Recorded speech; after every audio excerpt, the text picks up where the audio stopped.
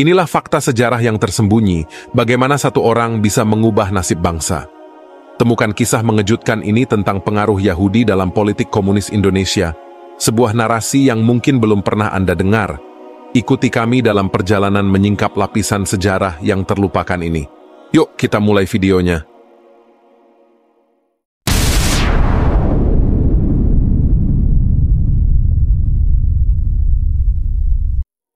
Assalamualaikum warahmatullahi wabarakatuh. Dalam laporan khusus ini, kita menyoroti keberadaan dan peran komunisme di Indonesia, terutama melalui Partai Komunis Indonesia (PKI). Sejarah mencatat bahwa PKI pernah berada di pusat panggung politik nasional dengan segala kontroversi yang menyertainya. Salah satu aspek kontroversial tersebut adalah dugaan keterkaitan antara Yahudi dan komunisme internasional termasuk di Indonesia. Penulis William Carr dalam bukunya Yahudi Menggenggam Dunia mengemukakan teori bahwa Yahudi dapat berperan sebagai kapitalis ataupun komunis. Menurut Carr, gagasan komunisme telah dirintis sejak akhir abad ke-18 oleh pemilik modal internasional, mayoritas berdarah Yahudi, dengan tujuan mendirikan pemerintahan ateis dan diktatorial. Carr mengacu pada temuan Kohn, seorang guru besar politik Jerman, yang mengklaim adanya bukti bahwa pemilik modal Yahudi mendirikan perkumpulan rahasia di bawah naungan The Grand Freemason Lodge.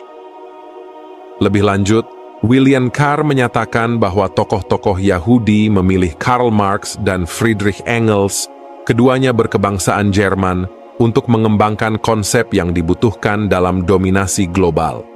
Karya mereka, Das Kapital dan Manifesto Komunis, didanai oleh tokoh-tokoh Yahudi internasional untuk distribusi global sebagai bagian dari strategi revolusioner.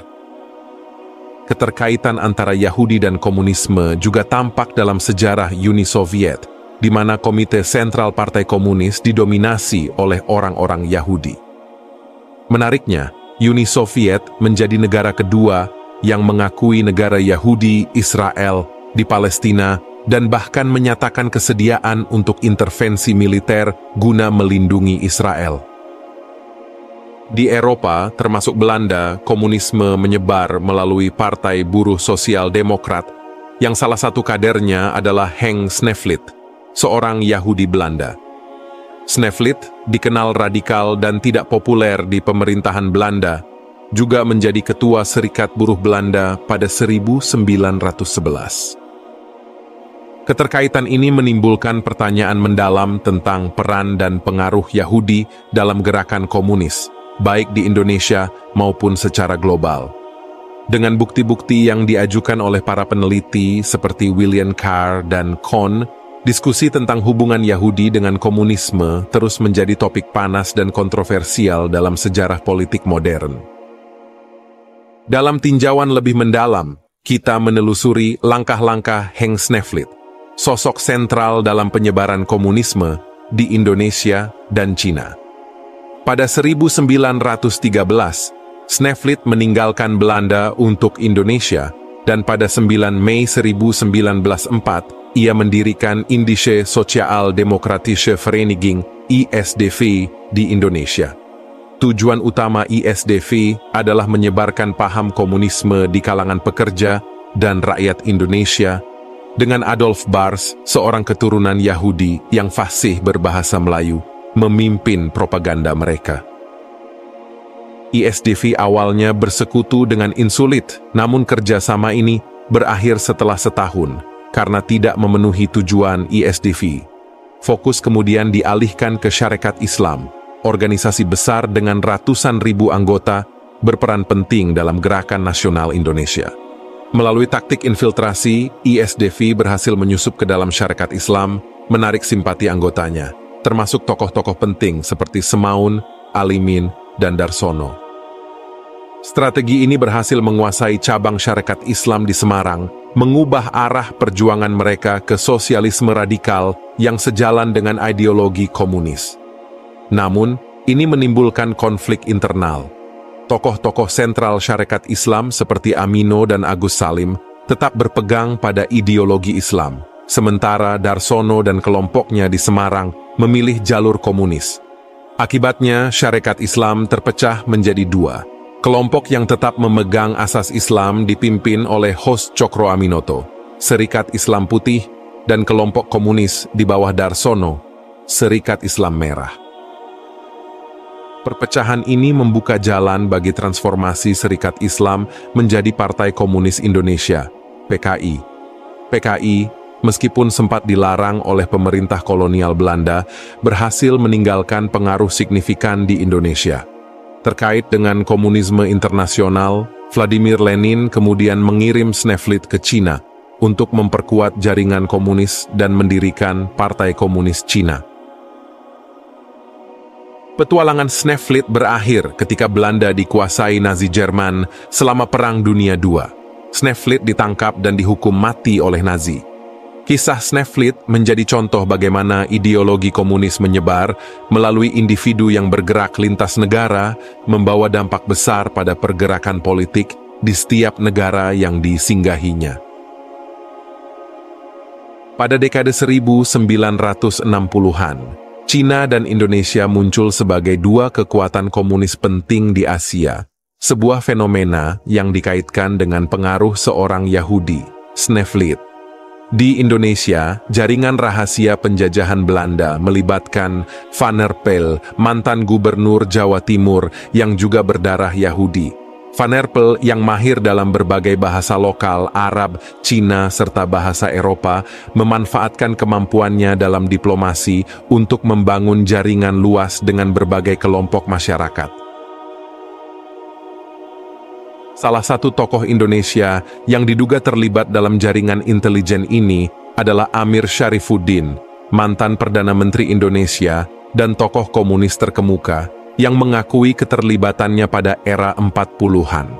Amir, yang pada suatu titik ditangkap oleh pemerintah kolonial Belanda, memilih untuk bekerja sama dan diberikan modal sebesar 25.000 gulden oleh Van der Pel untuk mengorganisir gerakan bawah tanah.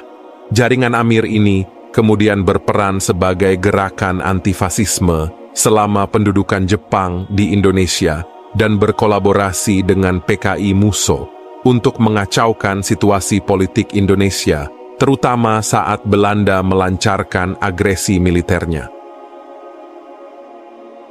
Dari skenario ini, terlihat bahwa jaringan intelijen Van der Pel memanfaatkan komunis untuk mengamankan kepentingan Belanda dan sekutu baratnya di Indonesia. Setelah kemerdekaan Indonesia, jaringan Yahudi Van der Pel terus menjalin hubungan gelap dengan berbagai petinggi di Indonesia.